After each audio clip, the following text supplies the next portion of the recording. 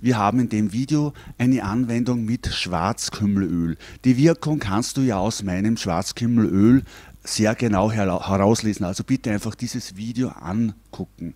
Es geht um eine Augenanwendung. Ich selber habe ja immer wieder mit, mit Problemen mit den Augen zu tun. Ich sitze sehr viel vor dem Computer. Ich arbeite sehr viel äh, bei Nachtlicht und so weiter und so fort. Immer wieder gereizte Augen. Und da kommt auch mir selber dieser Tipp extrem entgegen. Von dem abgesehen, dass man natürlich das Schwarzkümmelöl zu Hause haben sollte, zumindest wenn man diesen Tipp und die folgenden, die bei den nächsten Videos noch kommen, ausprobieren möchte, dann braucht man natürlich Schwarzkümmelöl.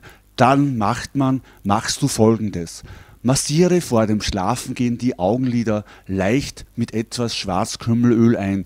Ein paar Tröpfchen genügen hier natürlicherweise. Ja, und zusätzlich gibst du ebenfalls einen halben Teelöffel Schwarzkümmelöl in ein, ein Viertel Liter Karottensaft und nimmst diesen zweimal täglich zu dir.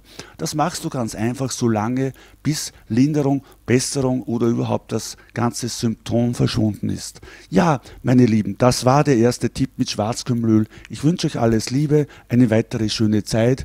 Alles Liebe, Geo. Baba, tschüss, ciao und servus.